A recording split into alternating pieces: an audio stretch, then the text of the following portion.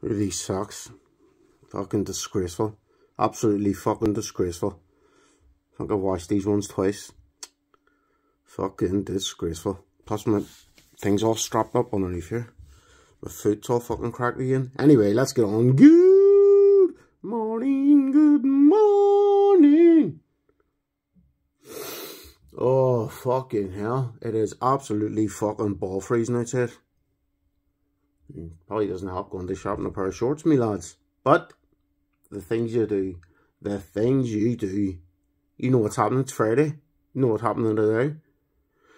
The hunt continues for the best breakfast in Belfast. Gonna try somewhere else. But I'm not having a fry, I'm gonna have something else because if I keep having fries around the same places, like in different places, I'll be bored out of my head after about three or four times. So it's on to try something else somewhere else.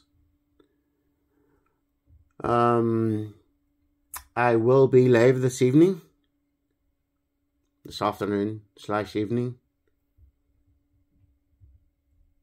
I was going to say a lot to discuss, but there really isn't. Tuesday's gone quiet. I know why Half Elastic was back yesterday, but I'm on sub for most of the drags. Too much dragness. Over and out. Talk to you later.